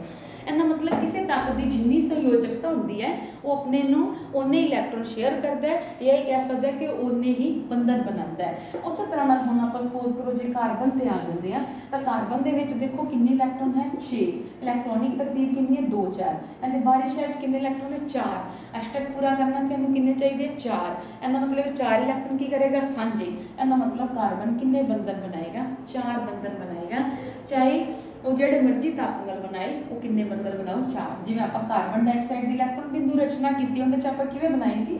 ਦੋ ਐਸ ਆਕਸੀਜਨ ਨਾਲ ਬਣਾਉਂਦਾ, ਦੋ। 1 2 3 4 ਤਾਂ ਕਾਰਬਨ ਦੇ ਕਿੰਨੇ ਬੰਧਨ ਬਣ ਗਏ? ਚਾਰ। ਸਪੋਜ਼ ਕਰੋ ਇਹ ਆਕਸੀਜਨ ਦੀ ਥਾਂ ਤੇ ਹਾਈਡਰੋਜਨ ਦੇ ਨਾਲ ਆਪਦੇ ਇਲੈਕਟ੍ਰੋਨ ਸਾਂਝੇ ਕਰਦਾ ਹੈ। ਤਾਂ ਕਿਵੇਂ ਸ਼ੋ ਹੋਏਗਾ? ਦੇਖੋ, ਬਾਰਿਸ਼ ਸ਼ੈਲ 'ਚ ਚਾਰ ਇਲੈਕਟ੍ਰੋਨ ਹੈ। 1 2 3 4 ਇਸ ਤਰ੍ਹਾਂ ਨਾਲ ਮੈਂ ਚਾਰ ਇਲੈਕਟ੍ਰੋਨ ਸ਼ੋ ਕਰ ਦਿੱਤੇ। ਹਾਈਡਰੋਜਨ ਦੇ ਬਾਰਿਸ਼ ਵਿੱਚ ਇੱਕ ਇਲੈਕਟ੍ਰੋਨ ਹੈ। ਇਹਨੇ ਚਾਰ ਇਲੈਕਟ੍ਰੋਨ ਸਾਂਝੇ ਕਰਨੇ ਆ। ਇਹਦਾ ਮਤਲਬ ਹੈ ਚਾਰ ਹਾਈਡਰੋਜਨ ਦੇ ਨਾਲ ਇੱਕ ਇੱਕ ਇਲੈਕਟ੍ਰੋਨ ਸਾਂਝਾ ਕਰੇਗਾ। ਹਾਈਡਰੋਜਨ ਕੋਲੇ ਵੀ ਇੱਕ ਇਲੈਕਟ੍ਰੋਨ, ਐਸ ਹਾਈਡਰੋਜਨ ਕੋਲੇ ਵੀ, ਇੱਥੇ ਵੀ ਇੱਕ ਹਾਈਡਰੋਜਨ ਸ਼ੋ ਕਰਤੀ ਹੈ ਇੱਥੇ ਵੀ। ਐਸ ਹਾਈਡਰੋਜਨ ਨਾਲ ਇੱਕ ਸਾਂਝਾ ਕੀਤਾ ਇਹਦੇ ਨਾਲ, ਇੱਕ ਸਾਂਝਾ ਕੀਤਾ ਇਹਦੇ ਨਾਲ, ਇੱਕ ਇਹਦੇ ਨਾਲ ਇੱਕ। ਹੁਣ ਦੇਖੋ, ਐਸ ਹਾਈਡਰੋਜਨ ਦੇ ਦੋ ਇਲੈਕਟ੍ਰੋਨ ਹੋ ਗਏ, ਇਹ ਵੀ ਕੰਪਲੀਟ ਹੋ ਗਿਆ। ਐਸ ਹਾਈਡਰੋਜਨ ਦੇ ਦੋ ਇਲੈਕਟ੍ਰੋਨ, ਇਹ ਵੀ ਕੰਪਲੀਟ ਹੋ ਗਿਆ। ਇਹ ਵੀ ਸ਼ੈਲ ਕੰਪਲੀਟ ਹੋ ਗਿਆ ਤੇ ਇਹ ਵੀ ਸ਼ੈਲ ਕੀ ਕੰਪਲੀਟ ਹੋ ਗਿਆ। ਤੇ ਕਾਰਬਨ ਦੇ ਚਾਰ ਇਲੈਕਟ੍ਰੋਨ, ਇਹ ਸੀ ਚਾਰ ਨੇ ਇਹਨਾਂ ਹਾਈਡਰੋਜਨ ਦੇ ਨਾਲ ਸਾਂਝੇ ਕਰ ਲਏ। ਤਾਂ ਆਪਣੇ ਕੋਲੇ ਦੇਖੋ ਕੀ ਹੈ, ਇਹ ਬਣ ਜਾਣਗੇ 8 ਇਲੈਕਟ੍ਰੋਨ ਪੂਰੇ। ਇਹ ਬਣ ਗਈ ਮੀ CH4 ਕੀ ਬਣ ਗਿਆ? ਇੱਕ ਕਾਰਬਨ ਕਾਰਬਨ ਦੇ ਨਾਲ ਇੱਕ ਹਾਈਡਰੋਜਨ ਇੱਧਰ ਇੱਕ ਇੱਧਰ ਇੱਕ ਇੱਧਰ ਤੇ ਇੱਕ ਇੱਧਰ ਤੇ ਜੇ ਆਪਾਂ ਦੇਖੀਏ ਤਾਂ ਹੁਣ ਦੇਖੋ ਕਾਰਬਨ ਦੇ ਬਾਰੇ ਸ਼ਾਇਦ 4 ਸੀ, ਇਹਨੂੰ ਸ਼ੈਲ ਪੂਰਾ ਕਰਨ ਸੇ 4 ਚਾਹੀਦੇ ਸੀ। ਕਿੰਨੇ ਬੰਧਨ ਬਣਾ ਰਿਹਾ 4 ਤੇ ਇੱਥੋਂ ਇਹ ਕਲੀਅਰ ਹੁੰਦਾ ਹੈ ਕਿ ਕਾਰਬਨ ਹਮੇਸ਼ਾ ਕਿੰਨੇ ਬੰਧਨ ਬਣਾਏਗਾ? 4 ਬੰਧਨ ਬਣਾਏਗਾ, ਉਹ ਜਿਹੜੇ ਮਰਜ਼ੀ ਤਾਪ ਨਾਲ ਬਣਾਏ। ਜੇ ਸਿੰਗਲ ਸਿੰਗਲ ਹੈ, ਤਾਂ ਵੀ 4 ਬਣਨਗੇ। ਆਕਸੀਜਨ ਨਾਲ ਬਣਾਏ ਸੀ 2 2 4 ਹੋ ਗਏ ਸੀ। ਤਾਂ ਟੋਟਲ ਕਾਰਬਨ ਹਮੇਸ਼ਾ ਕਿੰਨੇ ਬੰਧਨ ਬਣਾਏਗਾ? 4 ਇਹ ਹੈ ਜਿਸ ਨੂੰ ਮੀਥੇਨ ਤੇ ਇਸ ਨੂੰ ਆਪਾਂ ਜਦੋਂ ਇਕੱਠਾ ਕਰਕੇ ਲਿਖਾਂਗੇ CH4 ਜਿਸ ਨੂੰ ਆਪਾਂ ਕੀ ਬੋਲਾਂਗੇ? ਮੀਥੇਨ। ਇਹ ਹੈਗੀ ਹੈ ਮੀਥੇਨ ਦੀ ਇਲੈਕਟ੍ਰੋਨ ਬਿੰਦੂ ਰਚਨਾ। ਮੈਨੂੰ ਲੱਗਦਾ ਤੇ ਸਾਨੂੰ ਸਾਰਿਆਂ ਨੂੰ ਇਲੈਕਟ੍ਰੋਨ ਬਿੰਦੂ ਰਚਨਾ ਸਮਝ ਆ ਗਈ ਹੋਏਗੀ। ਮੇਨ ਬੇਸਿਕ ਚੀਜ਼ ਪਤਾ ਚੱਲ ਗਈ ਹੋਏਗੀ। ਕਾਰਬਨ ਦਾ ਸਿੰਬਲ C ਇਸ ਦਾ ਪਰਮਾਣੂ ਅੰਕ 6 ਇਸ ਦੀ ਇਲੈਕਟ੍ਰੋਨਿਕ ਤਰਤੀਬ 2 4 ਇਸ ਦੀ ਸੰਯੋਜਕਤਾ 4 ਹੈ। ਤੇ ਕਾਰਬਨ ਜਿਹੜਾ ਹੈ, ਕਿਹੜਾ ਬੰਧਨ ਬਣਾਉਂਦਾ ਸਹਿ ਸੰਯੋਜੀ ਬੰਧਨ ਬਣਾਉਂਦਾ ਹੈ। ਇਟ ਮੀਨਸ ਇਹ ਦੂਸਰੇ ਤੱਤਾਂ ਨਾਲ ਟੋਟਲ ਕਿੰਨੇ? ਤਾਂ ਕਿੰਨੇ ਟੋਟਲ ਬੰਧਨ ਬਣਾਏਗਾ? ਕਿੰਨਿਆਂ ਨਾਲ ਬੌਂਡ ਬਣਾਏਗਾ? ਵੱਧ ਤੋਂ ਵੱਧ ਚਾਰ ਤੱਤਾਂ ਨਾਲ ਬੌਂਡ ਬਣਾਏਗਾ। ਇਸ ਦੇ ਨਾਲ ਆਪਣਾ ਅੱਜ ਦਾ ਟੌਪਿਕ ਇੱਥੇ ਖਤਮ ਹੁੰਦਾ ਹੈ। Next topic we will do on tomorrow thank you ਬੇਟਾ।